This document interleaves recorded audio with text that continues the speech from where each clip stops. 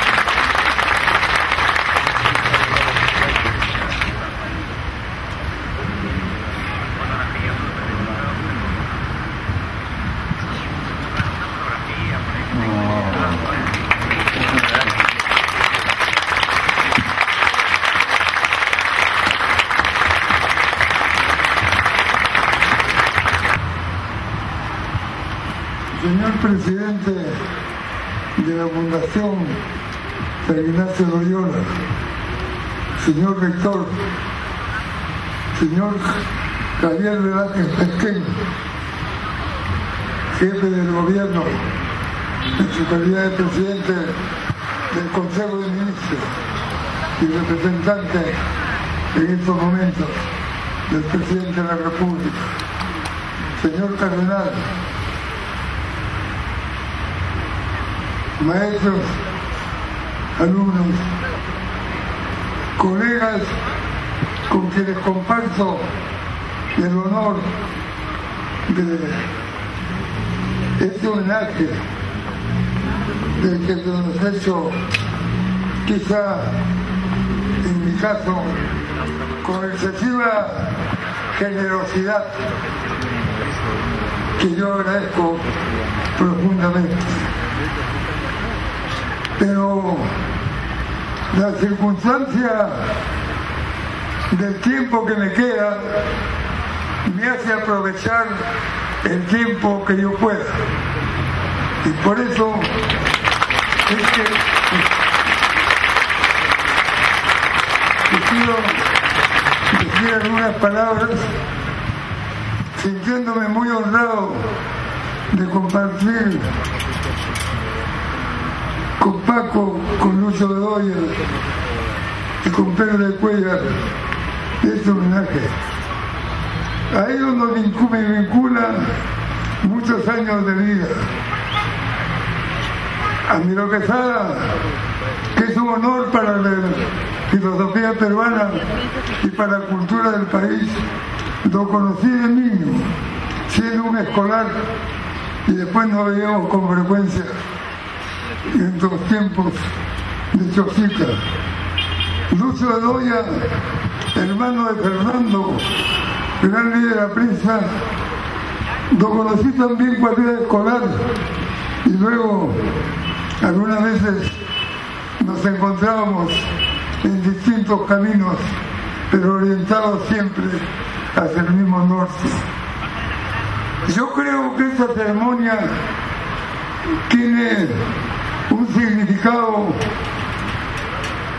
muy especial. Estamos viviendo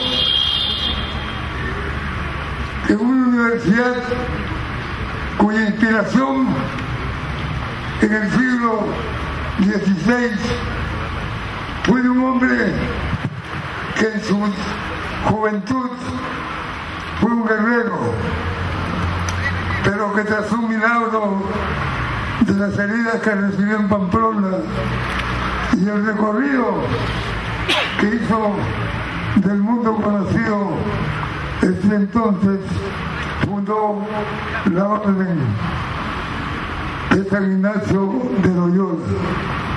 No hay que olvidar que a esta orden pertenecieron peruanos de los padres jesuitas,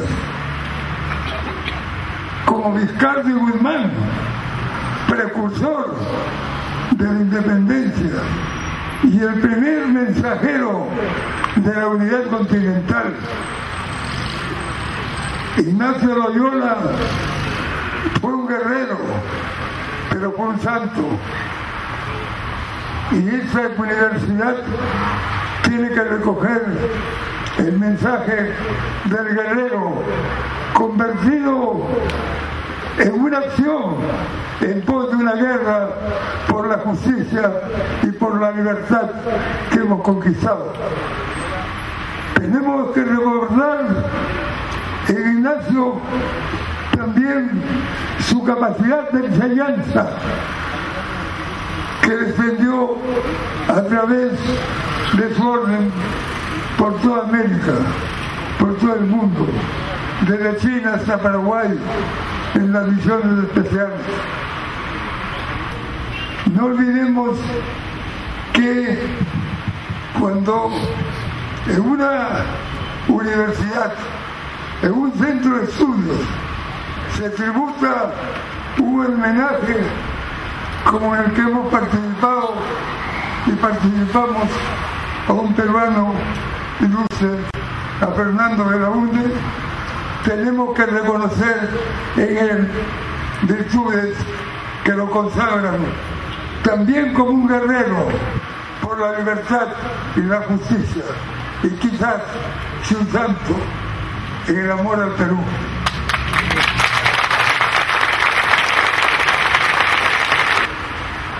Tanto hay de la Torre como él y como otros ilustres peruanos bregamos por superar las discrepancias que a veces se convierten en odios.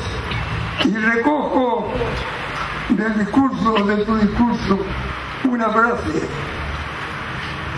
Dices que hay que invocar las grandes coincidencias. Esa frase de invocar las grandes coincidencias es la que yo repito en este momento. Y que quizás corresponda a las universidades iniciar un gran movimiento para que en 1911, tan lejano y tan cercano, en ese 1911 pudiera haber un movimiento que fuera la expresión sociológica del espíritu universitario que analice los programas de los partidos políticos, que analice las propuestas de los distintos sectores políticos y no dentro de la imparcialidad universitaria logre establecer las grandes coincidencias que constituyan una garantía para el próximo gobierno y en aquello que están de acuerdo no hay oposición sino respaldo de aquello que es un pensamiento común. Gracias, señor presidente. Gracias, señor rector. Ojalá estas breves palabras sirvan para recoger lo que estoy diciendo. Además ya no estoy yo para discursos largos, pero sobre todo que me duele la espalda. Entonces, confío en un gran movimiento universitario, en un gran movimiento de la cultura expresada en la universidad. Buscamos en qué coincidir para hacer un gobierno, sea que triunfe, muy fuerte, que honre la memoria de Fernando de la Bundeswehr. Gracias.